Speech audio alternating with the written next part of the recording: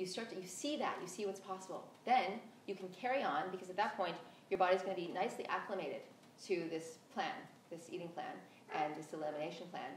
And it'll feel comfortable it will be your new um, it will be your new norm. It'll be your new um, uh, you, a very comfortable place for you to remain if you wish to. If you wish to incorporate some other things and adjust and maybe not not cleanse as often maybe not have you know your diet be 95% greens, but maybe have it become 85% greens. Maybe there's certain things that you really love you'd like to, to reincorporate.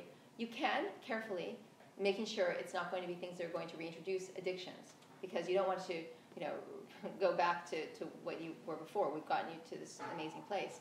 Um, but I'm going to guide you at that point. The beauty of it is, is when you commit to these seven days and you have this experience, you can rest assured that at the end of the seven days, I'm going to provide your next steps.